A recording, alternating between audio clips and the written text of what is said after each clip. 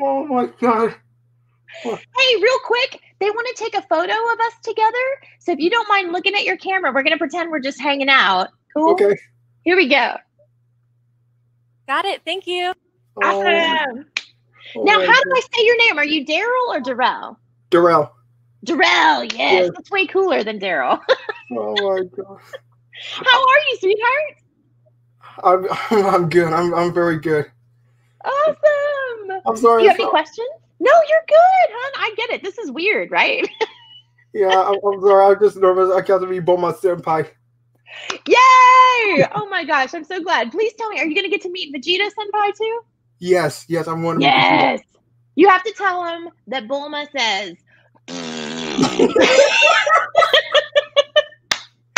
I love Sabat, but we like to we like to troll each other a lot. I like that too. He's good. He's a great guy. Okay. What's up? Do you have any questions for me? Uh, yes, I do. Um, um, how did you get the part for Bulma when uh, the original voice of Bulma left on Dragon Ball Z?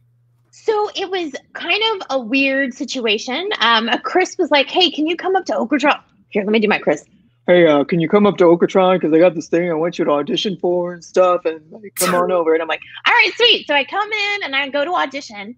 Now I knew what Dragon Ball was because my brother was a huge fan, so I was very familiar with the whole show. I'd seen it in English and Spanish, everything. So I Mhm. go into the booth and he's like, okay, so let me put up this character.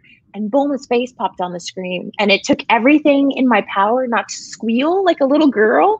I was trying to play it cool. I'm like, okay, and he's telling me, So uh, she's a famous scientist. Blah, blah, blah, blah, blah. and the whole time I'm like, I know who Bulma is. I know who she is.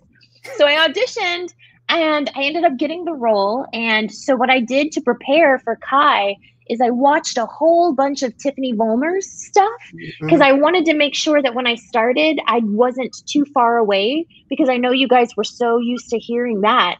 So when I started Kai, I kind of followed in Tiffany's footsteps. And then as we went along, I'm like, I'm going to start making her my own. And then Super came along, and I'm like, yes, now I can do whatever I want.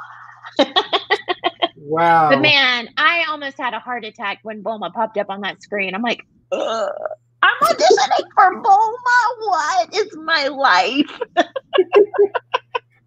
Wow. I love her so much. I can't imagine my life without her. Like seriously. I love Bulma too. She's one of my favorite female characters beside Goku. She and Goku's such a great character, and I love their little relationship because they're like brother and sister at this point. And I was just telling the person before you that Sean and I are very, very good friends and have been friends for 20 years. And so we text each other back and forth and send each other Bulma and Goku gifts and stuff. So Awesome. I love him. Let me add some time. Did you have any more questions? no, I guess that's it. I'm just happy to meet you. Oh gosh, I'm so happy to meet you too. And you're in Michigan? Yes.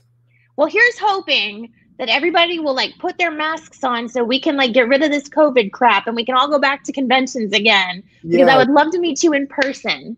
I would love to meet you too. We're gonna make that happen. Until then, high five, Darrell. Yeah. it was so nice to meet you, and I hope I get to see you in the future. I hope so too. Mwah! Take care, sweetie.